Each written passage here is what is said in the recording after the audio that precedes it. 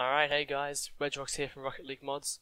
So this tutorial is going to be covering teleporting either the ball or the player, and by doing these techniques you'll be able to then change to teleport pretty much both or whatever you want. So this is using the same map that we created in the previous tutorial with the teleporting. So you're going to currently be spawned here, and this blue teleporter will teleport just the car, and the green teleporter will teleport just the ball. The ball will be sent back to this center part where I've put this path node and you will be teleported over here to face this boost pad over here. So, the way we do this is through trigger volumes and I'm going to drag open Unreal Kismet. Here we go. So what I have here is pretty much a it's the same as our um, one we made before, except I've changed some of the properties on the touch trigger volume event.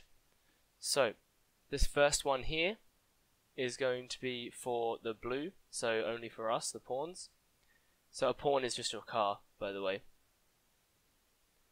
So, to make it just do your car, it's very simple, you just leave it as, as default, and it'll only do your car. If you uncheck player only, it will do the ball and the car. So, now the green one is the one that will teleport just the ball. So if I go down a bit on my Kismet, so down here, this is the other volume, my trigger volume. So if I click this, you have to set your class proximity type here.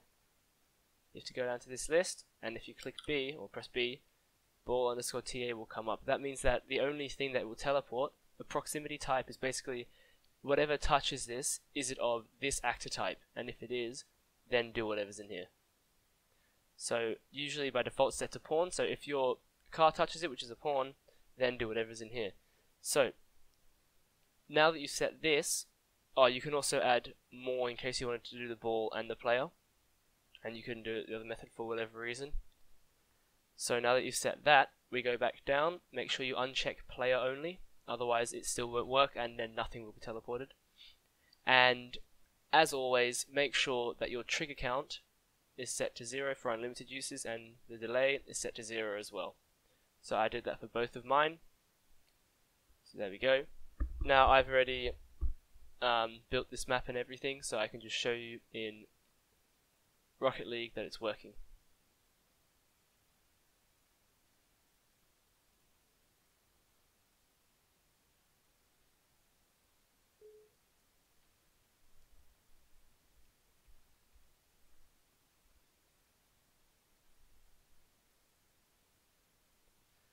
Just loading up the game, and if I go into my training mode, my automatic teleporter puts me here, and if I hit this ball into there,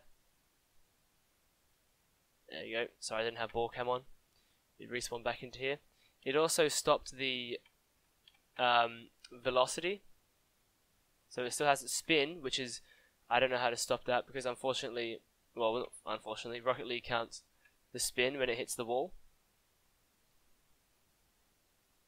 Yep. So if I try and drive through this, I don't get teleported anywhere. Uh, because I've set up my teleport, I'm just going to fly back in here. There we go. And if I shoot my ball through this one, it doesn't go through either. But I do. So I haven't cancelled out my velocity on that teleporter, so that happens. Yep. So it's actually teleporting me just around to here. So that's all. I hope it's been informative. As always, leave any requests in the comments and I'll make a tutorial for you. Thanks.